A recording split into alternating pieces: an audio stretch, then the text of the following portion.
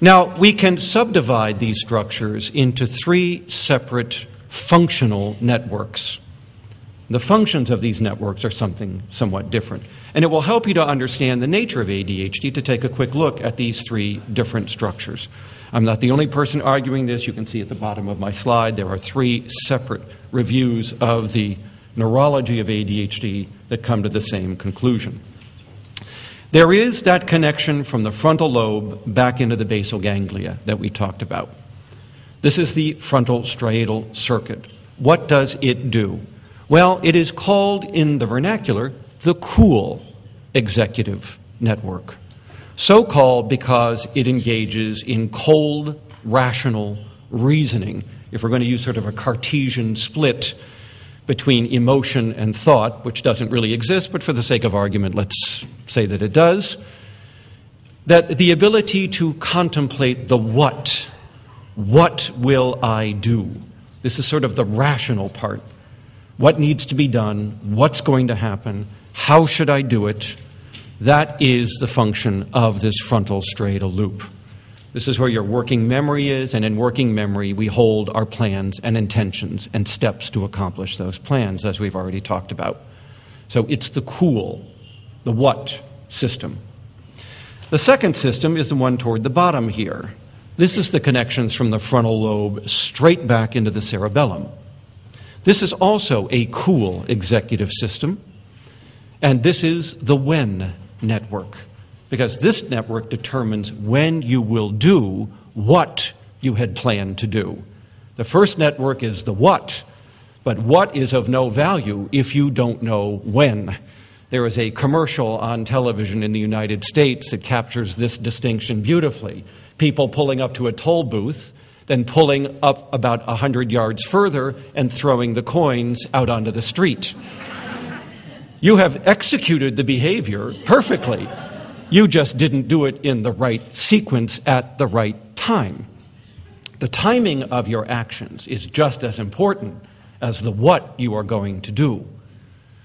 There's also part of this, uh, this uh, advertising campaign in which an individual is sitting at dinner with his girlfriend and he's not saying anything and he's not saying anything. And finally, she just goes, Well, she throws her napkin down and stands up and after she leaves, he says, Will you marry me? I'd say you got that one ill timed as well. So, timing is crucial, and that is what the frontocerebellar system is doing. It is determining when you will do what you had hoped to do. The third network is the one I just described from the frontal cortex through the anterior cingulate into the limbic system. This is the emotion network, and it is called the hot executive system for that reason, because this is where you moderate your emotions to be consistent with your goals, what you hope to accomplish.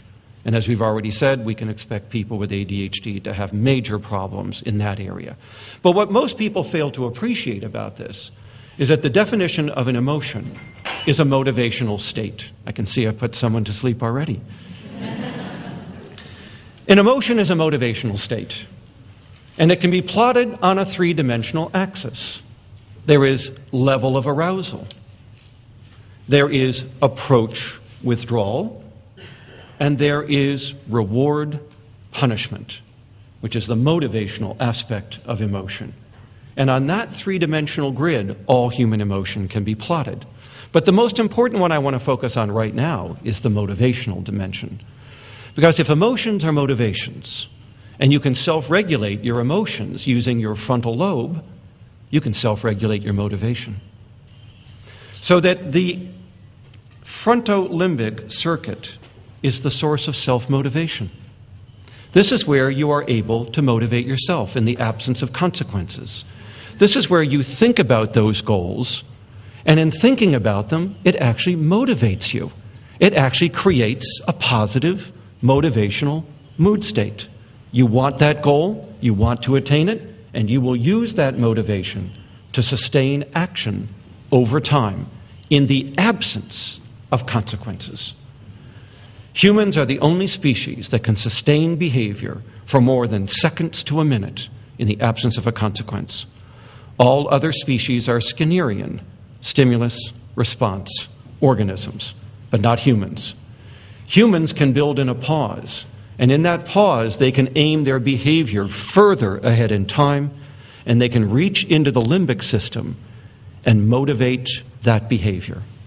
This is the source of drive, persistence, willpower, stick to itiveness, the ability to chart a course and to dog it to death. As Walt Disney said, the secret of all success is this ability to take an idea and to sustain action toward it in spite of all irrelevant activity going on around you. You know it as persistence and determination. Most adults would refer to this as willpower, and it is what many adults with ADHD who we have interviewed have said that they lack the ability to engage in a self disciplined, persistent course toward their goals. They have goals, they have ideas, they have wishes, they have dreams. There are things they hope to accomplish in life, and most of them will never be attained. Not because the ideas were not good ones, not because the what and the when were impaired, but because they can't fuel the fuel tank. This is like a great cruise missile with a brilliant computer system and a map of the enemy's terrain, and the fuel tank is empty. The missile sits on the launching pad. Brilliant as its plans may be, it cannot get off the pad. You need self motivation for all future directed behavior. And so now we know where the self motivation deficits are coming from.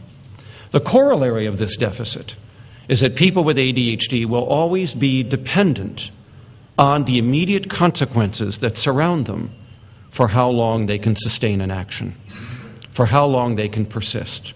They will be externally dependent on the fuel for their behavior. Others are internally dependent. They generate their own motivational states. So now you know why it is so hard to sustain action toward a goal, because part of the deficit is motivational. ADHD is MDD, motivation deficit disorder, in part. Do you see now how understanding the neuroanatomy of ADHD helps us to understand the nature of ADHD, the complexity of ADHD, the seriousness of ADHD, as I will show in my next presentation, and why ADHD is the most impairing outpatient disorder seen in psychiatric clinics? It is not impairing because of some distractibility or inattention. It is so impairing because it is a self regulation disorder that affects the entire executive system. And this is nowhere more evident than in the adult as opposed to the child. Because it takes 30 years for these functions to fully mature. And when they finally reach maturity, all of these areas will be areas of symptoms for the adult. Three year olds are just hyperactive. Three year olds don't need working memory, a sense of time, self motivation organization, the when, the where, the what, the how, and the hot executive functions. The adult with ADHD will have five deficits, the young child, but one.